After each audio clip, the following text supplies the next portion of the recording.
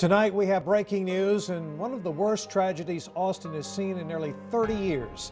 Last year's huge South by Southwest Music Festival was overshadowed by an accused drunk driver plowing his car into a crowd of fans. The aftermath has been devastating for the victims and their families. And now we have learned several of them have filed lawsuits against the festival organizers. You'll remember last March, this man, Rashad Owens, was charged with capital murder for his role in the crash that killed 18-year-old DeAndre Tatum, 26-year-old Sandy Le, 27-year-old Jamie West, and 35-year-old Steven Craenmehr.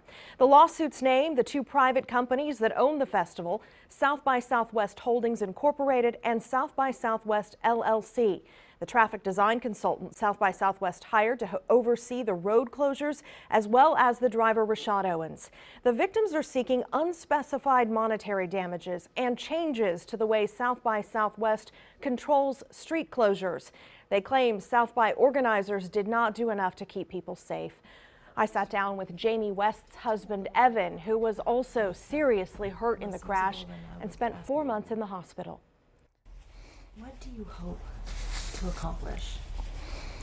Um, I mean, for it to.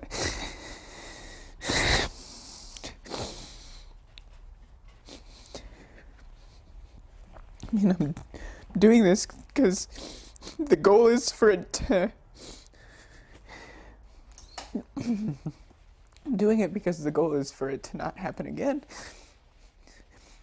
It's.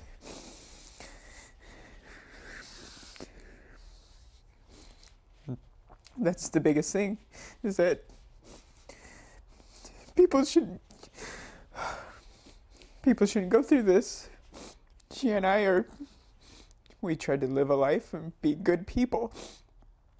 And it's big to talk about the world, but you know, you need those things. You need people just trying to be good, do good. And it can be in the smallest ways. Jamie through like little arts and trinkets and just, you know, being friendly and kind. But that's a, a huge loss because there's not enough of it.